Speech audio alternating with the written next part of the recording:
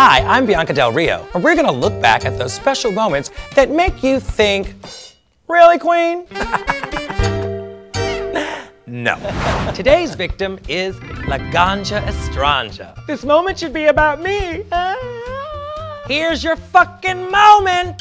Hi, my name is Laganja Estranja. I'm timeless and I'm from Dallas, Texas. You best trust and believe, mama. Okay? Still can't do that.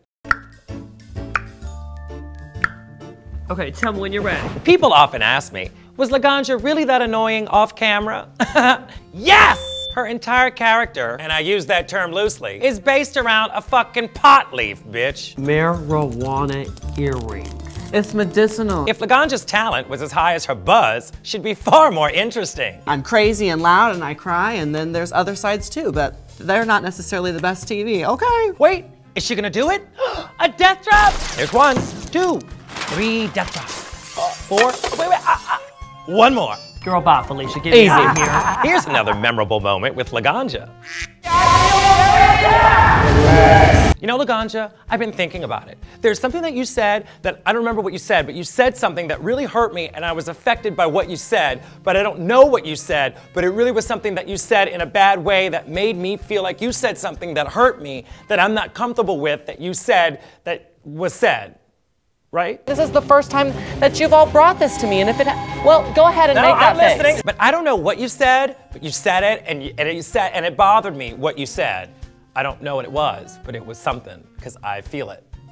I'm feeling very attacked right now. I don't think she was like coming for you. Girl, if I want to come for you, I'll come to your room at night and cut your fucking wigs up. That's coming for me. to be honest, Laganja, I was not coming for you that day. Now I am. Poor me. You fucking bitch. In the background, ah, waiting for hours for a bitch. Oh my God, Laganja's crying.